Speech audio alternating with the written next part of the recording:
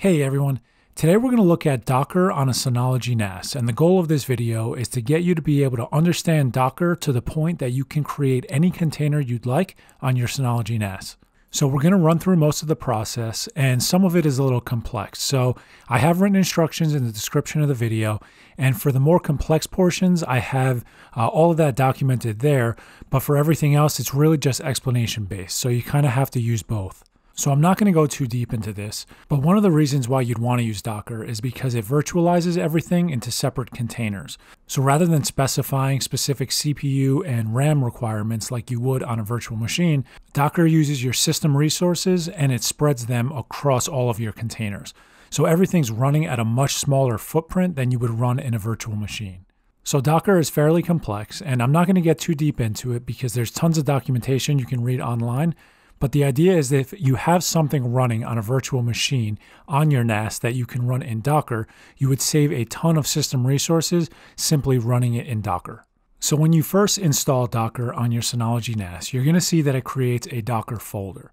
Now this is where you want to keep all of your Docker containers folders. So we're going to get to it in a little bit, but basically, when you create a Docker container, you mount specific folders. And what that does is it takes the Docker container's internal folders and it maps them to folders on your Synology NAS. So if you have to actually back up that container, what you're doing is you're backing up that Docker folder. And it basically contains all of your configuration for that specific container. So if you had to restore any of that data to a separate NAS or a separate Docker install, while you'd have to run through the process of creating that container again, as soon as you mount those folders, which are called volumes in Docker, as soon as you mount those volumes, you would have all of your saved information. So the first question that a lot of people have is how do I back up my Docker containers? And the main way that you do it on a Synology NAS is just by backing up that folder. So after Docker's installed, you can open it up and you're going to see on the left hand side that there's a registry tab. And when you click that, it's going to initially search through the Docker Hub repository. So all the containers that you see will be from the Docker Hub repository. If you select settings, you can add or change the repository that you're connecting to. Now, for the majority of people, you're just going to use Docker Hub, but if you have to add a different repository, this is where you'll do it. So after you search and find the image that you'd like to download, double click it and then select the image tab and it's going to download that image in that section. So in that image section, on the right hand side of every one of the images that you've downloaded, you'll see a little button that points to the Docker Hub repository. This is the documentation specific to the image that you just downloaded. This will basically hold all the information that you need to install this container. So it's a good idea to keep this up because we're going to need to reference it a little later. So when you're ready, double click the image for the container that you'd like to create, and you're going to see it brings up a create container dialog. So the first thing that you'll always do is you give it a container name. And now you have two options here. You have execute container using high privilege and enable resource limitation. So there are specific situations where you will want to execute a container using high privilege. And that basically means allowing the container to run as your root user. Um, for the majority of situations, you don't want to actually use this. There are certain scenarios where it's a band aid fix to just check this box off, and if anything isn't working, it will start to work, and you're basically just giving the container's user root permission, and it has access to everything at that point, so it goes from not working to working. The idea behind it is that you want to try and get your container to work without using high privilege. Now, that's not to say that you're opening yourself up to any major security concerns by executing the container as a high privilege, but if it's something that you can avoid, you're probably better off doing that. For the resource limitation, this is just specifying a, uh, a CPU priority and a memory limit. As soon as you select advanced settings, this is where you're really going to configure the container. So the first two options, enable auto restart, this basically just means that if the container stops or if you restart your NAS, it will automatically restart.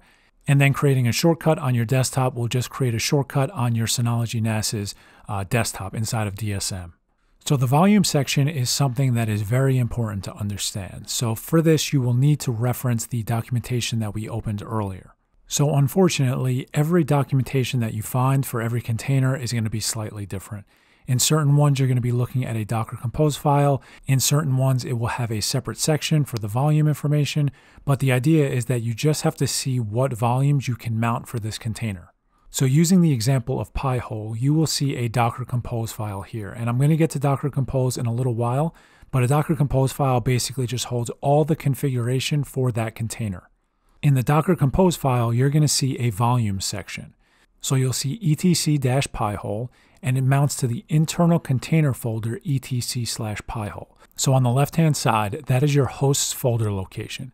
So when we're creating a Docker container using the Synology GUI, that is going to be the folder that exists on your Synology NAS. On the right-hand side, you're going to see etc slash pi-hole. Now that is the containers folder location. So the idea is that the information on the left-hand side will consistently change because it's going to point to the folder location that you create. On the right-hand side, that is the containers folder. You will always use the same. So you'll see etc slash pi-hole and etc slash dnsmasq. Those folders exist inside of the container. So with this in mind, we can go back to our Synology GUI and you can add a folder. So you always want to keep everything inside of the Docker folder, but what you can do is you can go in and create a folder named Pi-hole, and then you can create two subfolders, one called etc-pi-hole and one called etc-dnsmasq.d. Now, individually, what you have to do is you have to add each of those folders and you have to mount it to the containers folder. So for etc-pi-hole, you're going to mount it to the containers folder path of etc/pi-hole. You're going to do the same for etc-dnsmasq.d, and then you're going to mount it to the folder location, the container folder location, etc/dnsmasq.d. Now, as soon as this container runs, when we run it later, what you'll see is if you open these folder locations on your Synology NAS, there will be files and folders and data inside of that. That data comes from the container. So basically, when the container runs, it maps all of those file locations and folder locations to your Synology NAS. Any of the changes that you make, any of the configuration changes, will exist in that folder. So that's why I say if you simply back up that Docker folder, you will be backing up all of your containers information because every time you create a container, you're going to create a new folder for that container. You're going to mount all of the containers volumes to that folder. And then you can simply back this up and all of your personal data for that container will be stored in that folder. So that's how you map specific folders. Now it gets slightly tricky because you would think that you can mount any folder you'd like, but that's not true. So from that documentation, you saw that the container was able to mount two different folders. If we wanted to mount a different folder, what we'd actually be mounting is the Synology NAS's folder to the folder in the container. So think of what we just did. We mounted it from the container to the Synology NAS. And the reason for that is because the container is written in that way. If you try and mount a different folder, it's not going to pull all of that folder's information onto your Synology NAS. So you have to kind of think of it in two different ways. So keeping in mind that you can do this for a folder or you can do it for a file, the best example that I could provide is if you want to update a specific file on the container by creating a file from your Synology NAS. So with Pi-hole, there's sometimes a bug with the DNS of the container itself. So all of that data is stored in the resolv.conf file inside of the Pi-hole container. So what you can do to change the contents of that file inside of the container is you can create a resolv.conf file on your Synology NAS, set it up to be exactly as you'd like it to be in the container, and then you mount that file to that internal path inside of the container. So hopefully that makes sense. I know it's a little tricky, but you're basically overwriting files inside of the container with files from your Synology NAS. So the next thing that we're going to take a look at is the network section. So by default, a bridge network will exist. And for a lot of containers, this is fine. You can also use the same network as the Docker host. That is fine as well. But in certain circumstances, you're going to find that you're going to run into certain port conflicts. And a port conflict is just when your container is trying to use the same port as your Synology NAS, because in this case, your Synology NAS is your host device. So a great example of that as well is Pi-hole. So Pi-hole has a management console, and that management console is a website and it uses port 80 by default. Now, Synology uses port 80 for various different things on the NAS itself. If you use the same network as the Docker host and you try and access that web page, you're not going to be able to get to it. So you have two options. The first option is in the port settings. You can go in and you can map a different port, a different local port to that container port of 80. So you're not going to change the container port, but you can go in and change the local port. And what that would mean is if you add, say, 8080 as the local port, when you navigate to the management console, you're going to navigate to your Synology NAS's IP address and port 8080 because you mapped port 8080 to the container ports 80. So that's one option, but you have to be aware that there's potentially multiple port conflicts. So in this example, port 80 is a conflict, but so is port 53, that's the DNS port, and so is port 443. So in situations like this, you have the option of creating a MAC VLAN network interface, and you have to do that from the command line. And certain people might not be comfortable in the command line, but it's really just SSHing into your NAS, which I have a video for. If you aren't sure how to do that, I'll leave a pop up for that now. And then finding your host network interface, and then you're going to create a MAC VLAN network off of that. So after you do that, what you would have is a MAC VLAN network interface that has a completely separate IP address and it will not have any port conflicts. So you'd be navigating to that Docker container using a separate IP address, and for that reason, it has its own port configuration, so you will not have any port conflicts. The one thing that you have to be aware of with this is that your host, meaning your Synology NAS, and your container cannot communicate using that MAC VLAN network interface's IP address. So what you have to do is whenever you're using a VLAN network interface, if you require your host to be able to communicate with the container, you have to create a bridge network. And the bridge network is strictly used so that your host, meaning your Synology NAS, can communicate with your container. In this case, we're creating a Pi-hole container. So since Pi-hole is a DNS server, if you had to set the Synology NAS's DNS server you would go in and you would add the bridge network's IP address and not the MAC VLAN network's IP address. This is strictly used for container and host communication. Everything else can use the MAC VLAN network interface's IP address. In the written instructions, I have exactly how you can create a MAC VLAN network interface and a bridge interface. So the last thing we're going to look at inside of the creation of a container is the environment variables. So think of environment variables as a way of passing specific settings to your container. You can determine the type of environment variables that you can use by the documentation, and you can come here and add, change, or remove any of these if you'd like. So as soon as you're done setting up your container, you can apply all these changes and it will go ahead and start your container. Now, the first time the container runs, it's going to take a few minutes to set everything up, but you should be able to access it shortly after. So we're going to look at two more quick things as far as managing your Docker containers and a different way of creating Docker containers if you'd like. So the first thing that we're going to look at is how you can access a container using the command line. So a lot of people aren't comfortable using the command line, and that's why Synology's GUI is great because you really don't have to ever use the command line unless you have to create a MAC VLAN network interface to create a Docker container. However, if you want to access the container using the command line, you can. Now, Keep in mind that any changes you make here when you go ahead and update your container will be lost. So it will automatically overwrite everything. And for that reason, if you have to modify a specific file in the container, you really want to do it from the volume mapping. You want to map a file to the internal containers file. But one of the common issues you'll run into is you'll have a hard time of finding the containers files or knowing the exact path of a container file. So what you can do is you can SSH into your Synology NAS and you have to make sure that your container started. If it's not started, you're not going to be able to access it. But as soon as you're SSH'd in, you can run a command sudo docker container ls. This will pull up all of your containers that are currently running and you'll see a container ID there. So copy that container ID and then you're going to run another command and you're going to substitute in that container ID.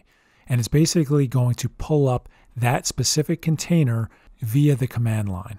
So this is really great, like I said earlier, if you want to mount a specific volume for a file, but you aren't sure where the file exactly is.